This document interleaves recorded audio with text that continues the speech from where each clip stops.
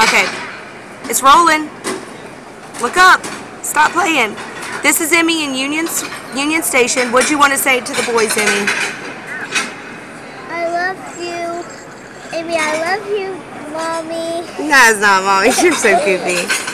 What did you tell me this morning? What did you tell me about the boys this morning? I miss you, boys. Oh, Daddy and Matthew.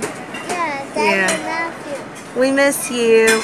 Look, here's Union Station. So beautiful.